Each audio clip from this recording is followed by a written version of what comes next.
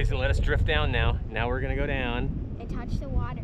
Uh -oh. oh what if there's a great white right under us? Then he better floor kinda, it. It kind of looks like a green screen if you look at your feet. See, if, the, if we were to disconnect, we would fall like this to the ocean. It wouldn't even be hard at all. We'd just barely land. But then we'd have to pull that thing. And then he's gonna start going fast again when we're about to hit the water. That thing's oh just gosh. a buoy. It inflates into a little raft you can grab onto.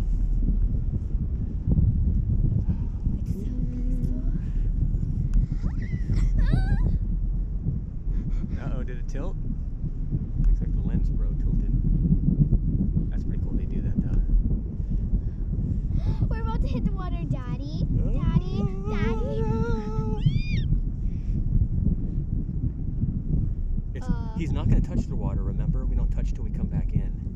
Now watch, he's gonna take off here. He's gonna take off in a second. I can hear the water. look, fishy! Oh, look. Fishy. There's something right there. See, here he goes. going up again.